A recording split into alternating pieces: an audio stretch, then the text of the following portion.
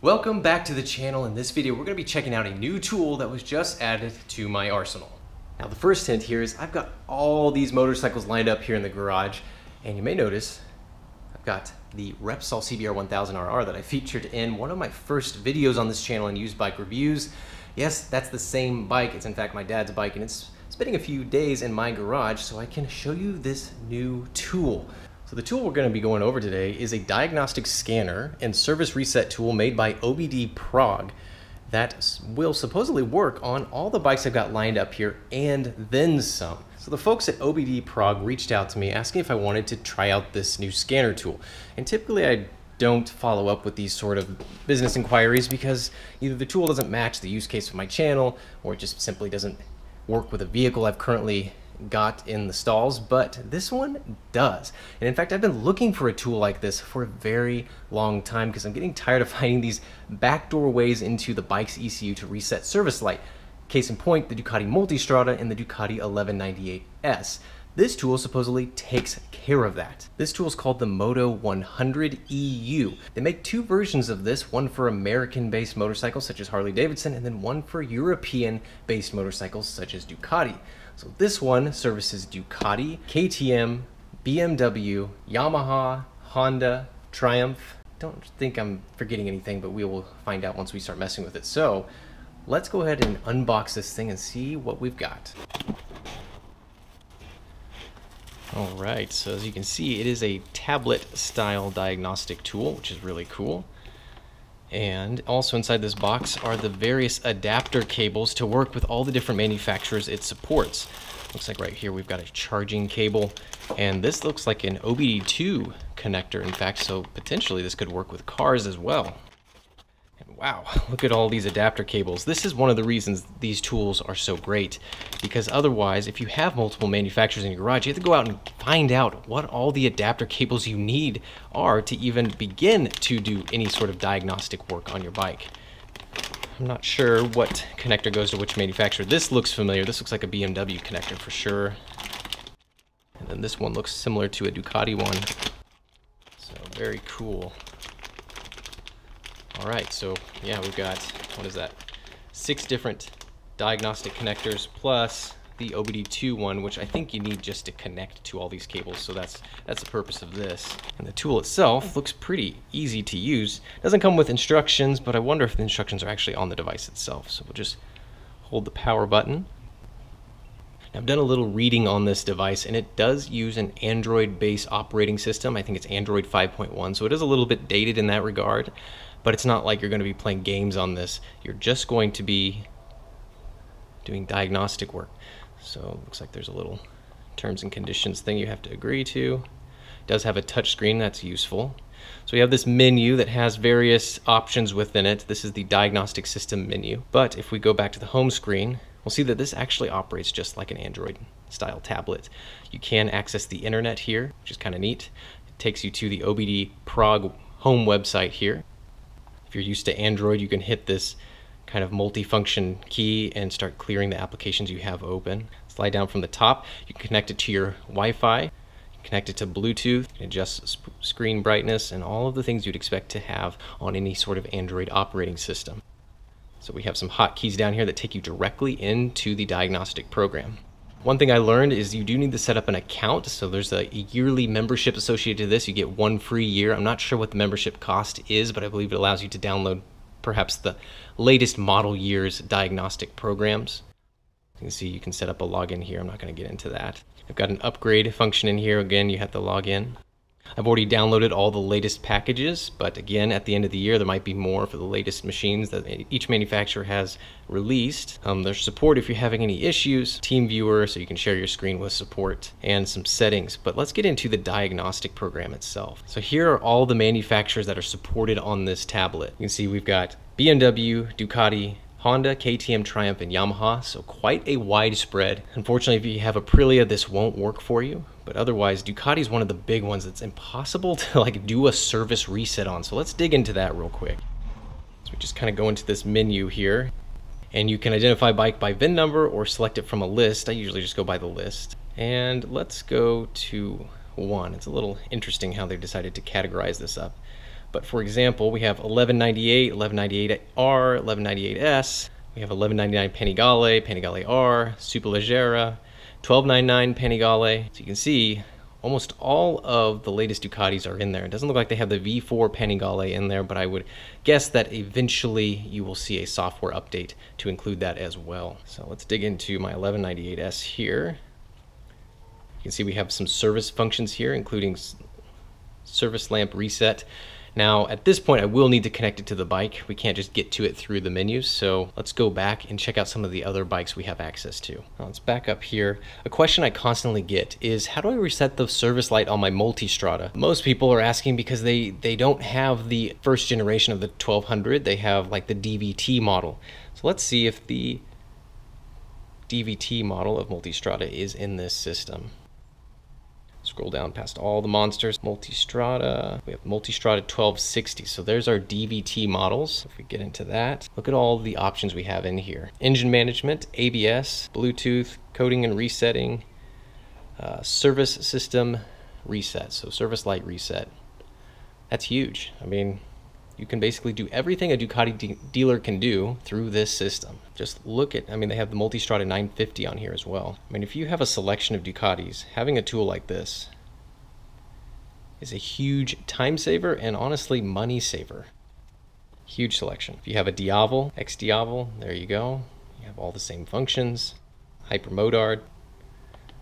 So really it covers pretty much the full swath of Ducatis except for maybe the most recent ones, 2021, 2022 models. So let's back back out and see, for example, BMW's in here, KTM. I'm curious what KTM has got. I've always wanted the 1290 Super Duke and I'm wondering if that's in here. RC8 is in here. 1290 Super Adventure, so Super Duke GT, that's actually the one I'd want. Chassis management, tire pressure monitoring system, immobilizer, service reset, suspension. So yeah, you can do everything in here. Well, unfortunately, I don't have any of those bikes to show you, to demo on, but we can start hooking this up to the bikes I have behind me. All right, so the first bike we're gonna try the scanner tool out on is my buddy's XSR 900 Yamaha. Pretty sweet looking bike, a lot of fun to ride. But recently, the check engine light has come on to the dashboard and we're not really sure if it's tied to the battery going dead at one point or it needing an oil change. Either way, it requires it to go to the dealership to basically clear the code. So we're going to hook up the scanner tool and see if we can't clear the light on the dashboard. So the, the diagnostic port is located under the seat and it's a little hard to find if you don't know what you're looking for. It's this little white plug and it has a cap on it. It just sits right here behind all of that set of wires. And that is the light that we see on the dashboard, is that check engine light right there. So we'll see if we can't clear that. One of the adapter harnesses that the scanner tool comes with is kind of this multi-pigtail style one. I assume just works for all multiple years of Yamahas. And the one we want is this four pin one, which will hook right up to that. Hooked up the tool to that diagnostic port. So now we'll just turn the ignition on on the bike here. Go into the diagnostic program and we'll select Yamaha. Let's start with diagnosis. And we have an option to read fault codes, so we'll start there. Looks like we have one for engine stalling. And then we've got error in writing on EEPROM, recover.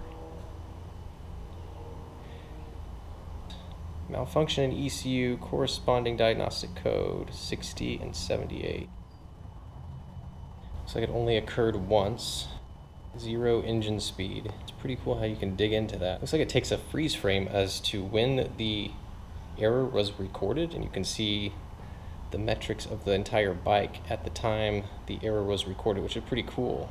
So I imagine this was just a bit of a fluke and it's probably something that won't return, especially since there's only one occurrence. So we'll just go ahead and clear the code. What are the special functions we've got here? You can learn the idle speed, CO volume adjustment, so these are special Yamaha specific service functions if you wanted to do them. Let's see what we can see about the engine stall. Number of occurrences, 66. Uh-oh. do you think you've stalled it 66 times? No. No way. Ignition on total count. I wonder if they forgot to put a decimal in there. Yeah. Seems a little high. It does seem uh, in the trillions to be a bit high. All right. Well, we'll just erase the fault codes. Ignition switch is turned on. Engine does not launch. I, I assume that means the engine is not on. Yes, we want to clear the codes. All right. Look at that, it's off. Look at that. All right, let's turn the ignition on, and see if in fact the code did go away.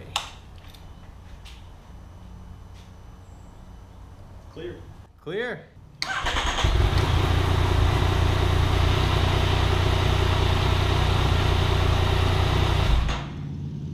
All right, job done. Next, we're gonna try out the scanner on my Ducati 1198S. This is the 2009 model. Now, the scanner did come with a diagnostic cable that is Ducati specific. That's this four pin style that this 1198S does have an adapter for back here in the rear storage compartment. However, this will not allow you to access the bike's ECU. I've already tried it. That particular adapter cable, which is right here, does not work for this. It will not communicate with the bike's ECU. Unfortunately, you will have to get a different diagnostic cable adapter, one that I already had because when I went through to clear the engine codes when I first went through this bike, I had to get anyways. So that is one stipulation for the 1198 and probably 1098, maybe even older Ducatis. Now I will say the cable that did come with the diagnostic scanner will work with the Multistrada 1200 because that's the same style of connector. It's that four pin connector. So if you have a like a 2010 or newer Multistrada, then this tools adapter will work for that. As you can see, I've pulled off the left side fairing. That's because the diagnostic connector for one of these bikes is this three pin connector down here. And you can see that the diagnostic connector that I've gotten for it is this style. It has two pigtails that come off and connect directly to the battery. I've already verified the polarity of these two leads, but that is a critical piece you need to do to make sure you don't accidentally brick your ECU. You need to verify the polarity is correct on these leads. You want to make sure it's not accidentally reversed when this was created at the factory. So once you've connected that to three pin connector, you just simply connect it to the OBD2 cable that the scanner comes with. You do need to switch on the bike's ignition and then we'll select Ducati from the menu. And we'll just select the vehicle from the list. It starts with a 1, 1198. We'll scroll down to 1198S.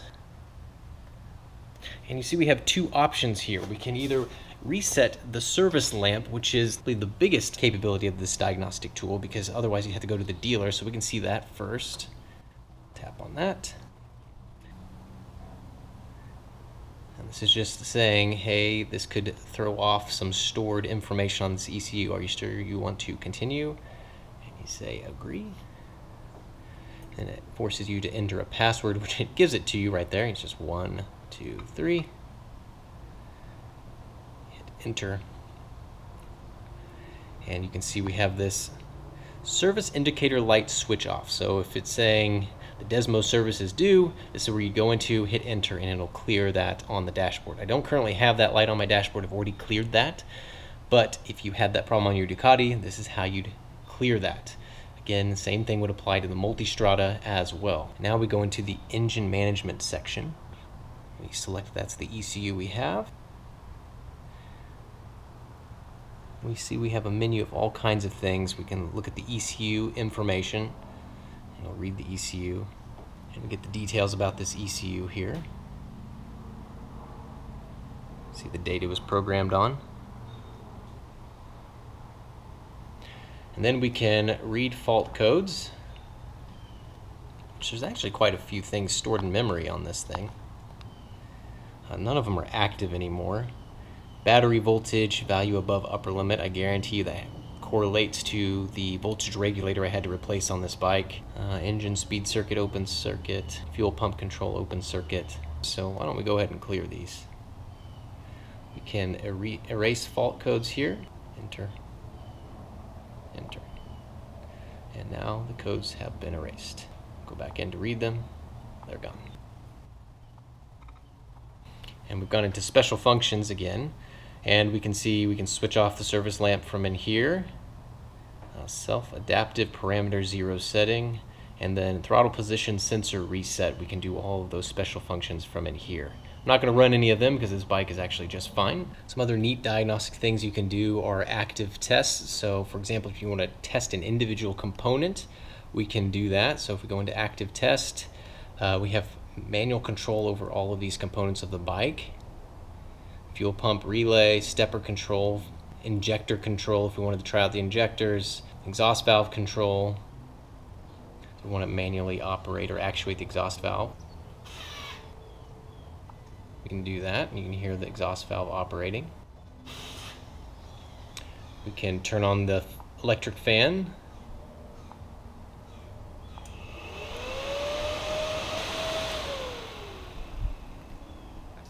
All right, so pretty much all the functions you need to do to diagnose any issues with this Ducati.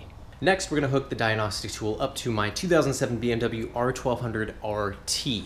So this did come with an adapter cable. It's kind of this circular plug that goes in underneath the seat, connected to the OBD2 connector that goes into the unit. Flip the ignition on, go into our menu and select BMW, and we'll see if this auto-identify VIN number works. And it did find the VIN number, cool. We've got the non-police version. And we've got this menu of all sorts of systems inside of the bike. Now I know mine doesn't have the electronic suspension, but if you had the ESA system, you could go in there and look at all of the calibrations within there and any fault codes. If you had a traction control system, um, a radio, you know, mine doesn't have any of these items, but they are there. If you have any ABS system issues, then that is in here as well and you can read live data flow from the ABS system. All these different parameters you can select or you can just select them all to read. So let's do that. And the bike's not on, so don't really have any active information coming through here other than battery voltage, which is pretty cool. But if you're trying to track down an ABS issue, this is where you would go to see if any one of these inputs was out of range or not operating as expected.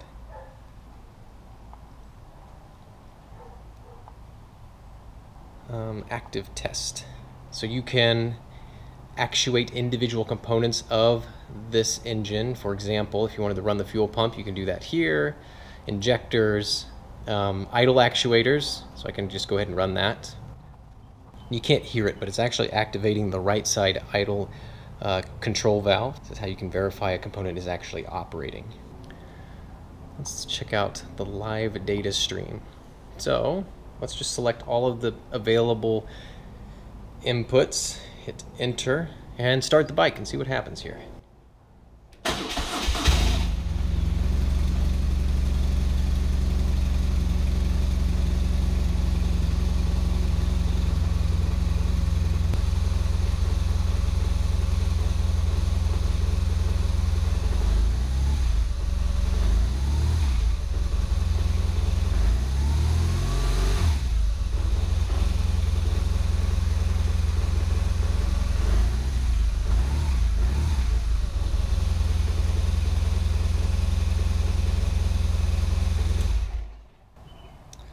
So that's pretty cool. You can see live data stream of all the engine's sensors and you can diagnose any sort of issues that might be going on there if you have any. So we have a section in here called special functions. And we can adjust the idle adjusters, the idle control valves. Let's go ahead and just do that. You can actually hear them moving around right now. You probably can't hear them on the camera, but on these boxer twins. This is a good procedure to do every once in a while to sort of smooth out the the idle running. I mean these things will never idle perfectly smooth but this certainly helps. So that's done. Easy enough. All right so lots of cool controls you can do within here for BMW RT again tons of different BMW models available within this program. Let's just see if how current it gets with the R model. So we can go back to R1100s, Adventures, get up into the R1200s. Let's see if we get to the water-cooled stuff. Looks like it. And even the R1250s, in fact. R9Ts. So yeah, if you've got even modern BMWs, it's going to be able to help you out. Let's see what the S1000. We have the S1000RR in here as well. What is special engines? Industrial motor? I don't know what that's all about. Hmm. All right. And finally, we're going to hook up the diagnostic tool to this 2005 CBR 1000RR Repsol edition. And the diagnostic connector on this is a little more difficult to get to. You have to remove this side panel on the fairings, and it's this little red connector that's actually electrical taped to this main wiring harness. And the adapter cable is included. It's a small four pin connector. All right, so we'll flip the ignition on. Then we'll select Honda from the list. So let's see if we can't just do the auto scan to find the bike. I know this is the M015A diagnostic connector, and it is currently scanning. And apparently it has found one fault. HESD linear solenoid failure. So that is the Honda electronic steering damper. Let's try and clear it by clicking erase fault codes. Okay, it's been erased. And I'm gonna start the bike up and see if it doesn't reset a code.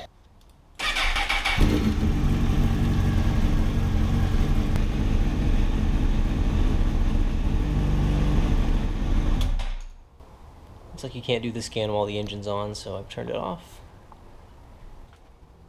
Okay, it looks like the code is gone and everything's good, so I'm sure it was just a historic code that just needed to be cleared. All right, so we can tap into that We can read the ECU information. Not a whole lot of information there other than the part number it looks like. Alright, so that concludes my testing of this tool, and it's clear what the upsides of this tool, the positives of this tool. I mean, it can basically allow you to do anything that a dealership would allow you to do, and it saves you a ton of money and a ton of time from having to schedule a service appointment at a dealership to read a fault code or just clear a service light. However, there are some downsides to this tool, and it's going to happen with basically any tool out there. And let's just start going down the list. The first one is that it covers Honda and Yamaha, but not the other big two Japanese manufacturers, Kawasaki and Suzuki. I'm not sure why they're not covered, but it is a bit of a downer that you can't diagnose those manufacturers since they're so common. Other downside is clearly not all the adapter cables needed are included, and I think that's a given just because, I mean, there's probably 30 different connector types for various diagnostic ports, but the main ones are included, but as you can see, the older Ducatis, you'll need to get a different diagnostic cable. And the last, but probably largest downside of it is the cost of this thing. It retails at about $550.